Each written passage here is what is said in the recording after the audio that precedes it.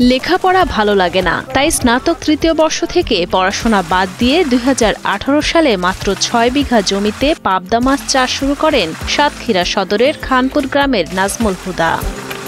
নিমিষেই যেন সফলতা ধরা দেয় তার। মাত্র ছয় বছরের ব্যবধানে এখন বছরে বিক্রি করেন কোটি টাকার পাবদা মাছ। অনার্স থার্ড ইয়ার করার পর পরে আমি লেখাপড়া ছেড়ে দিয়ে আমি মাছ উদ্যোক্তায় লেগে যাই এই পাবদা চাষটা আমরা বগুড়া থেকে এবং ময়মনসিং থেকে আমরা রেণু আমদানি করে আমাদের সাতক্ষীরা থেকে এটা আমরা উৎপাদিত করি।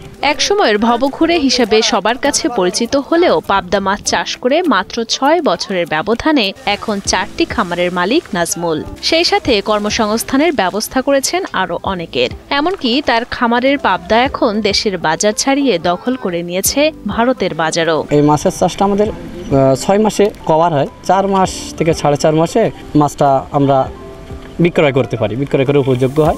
নাজমুলের খামারের এসব পাবদা মাছ প্রতি মন বিক্রি হচ্ছে তেরো থেকে চোদ্দ হাজার টাকায়। তার খামার থেকে মাছ ক্রয় করে প্রক্রিয়াকরণ শেষে ভারতে রপ্তানি করেন মাছ ব্যবসায়ীরা। এই পাবদা মাছগুলো সারা বাংলাদেশ ইন্ডিয়া এবং আরও অন্য অন্য দেশে আমদানি হচ্ছে। এখান থেকে আমি মাছ কিনছি বিশ লাখ টাকার।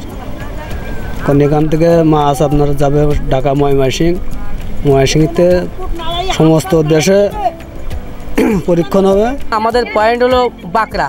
এই মাছটা প্রসেসিং করি। ওইখানে আপনার আমাদের পয়েন্ট ওখান থেকে আমরা ইম্পোর্ট করি ইন্ডিয়া খাবার হিসেবে দিনে দুইবার টঙের ফিট দেয়া হয় মাছগুলোকে। খামারি নাজমুল জানান দশ বিঘা জমিতে পাবদা মাছের খামারে দুই লাখ পোনা ছাড়লে চার থেকে পাঁচ মাস পরে মাছ বিক্রির উপযোগী হয়। যদি আমি একটা আপনার দশ বিঘা একটা পয়েন্টে দুই লক্ষ মাছ ছাড়লাম। দুই লক্ষ মাছ ছাড়ার পরে আপনার এখানে আমার বিশ লাখ থেকে পঁচিশ লাখ দুই লাখে মাছে আমাদের সাদা মাছ সহ বিশ থেকে পঁচিশ লাখ টাকা খরচ আসে। নাজমুলের সফলতা দেখে পাবদা মাছ চাষ করে বদলে গেছে এ জেলার অনেক বেকার মানুষের ভাগ্য। স্বাবলম্বী হওয়ার পাশাপাশি তাদের পরিবারেও ফিরেছে আর্থিক সচ্ছলতা। আমার এই দশ বিঘে জমি দশ বিঘে জমাতে দুই লক্ষ মাছ দিয়েছে। দুই লক্ষ মাছে আমি একশো বিশ মন থেকে দেড়শো মন মাছ এখানে আমার উৎপাদন হয়। আমরা খুব ভালোই লাভবান।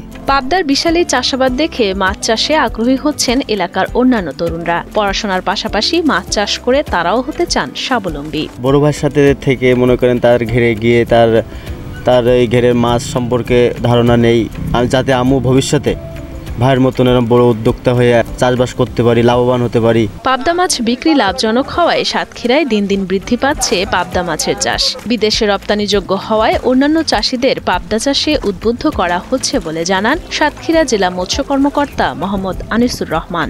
পাবদা চাষ যেহেতু লাভজনক একটা চাষ অনেক চাষি যখন পরামর্শ নিতে আসে আমাদের কাছে আমরা তাদের পরামর্শ দিই আপনি পাবদাও চাষ করতে পারেন। যেহেতু পাবদা অল্প সময়ে আপনার টাকাও চলে আসছে এবং লাভ লাভবানও হতে পারছেন।